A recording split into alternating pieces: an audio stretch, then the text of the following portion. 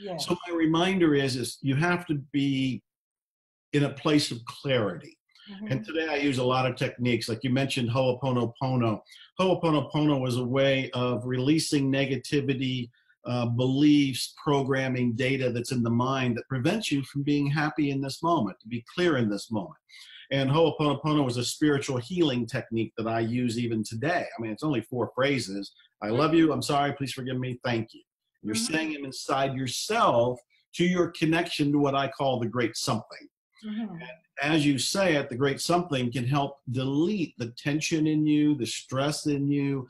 I mean, there are miraculous stories of people using Ho'oponopono to change their lives. So Huh. I know to use this and a lot of other things to help me be relaxed. I may Mhm. not have a kid, but we have cats here. Yeah. We don't have to send the cats to college, but they get medical bills. You know, they have health concerns.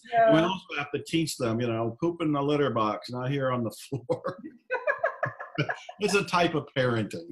I guess so. Well, when you talk about Ho'oponopono, Yeah. um, oh well, I guess the first thing I wanted to ask you about that is when you say that parents, it's a good idea to find something Yes. to relieve your stress, to understand that you're even under stress. A lot of parents don't even understand that the, how deep it is for them.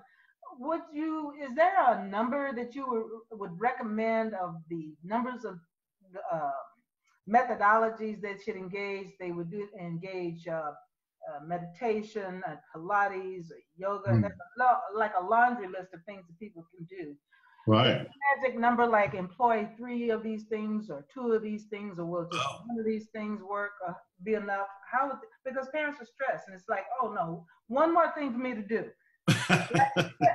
it's i mean really that's that's kind of the first thing that jumps up because right. that Well, kind of I don't dare give them more than one thing to do if they're already stressed. yeah right Yeah, I don't dare do that.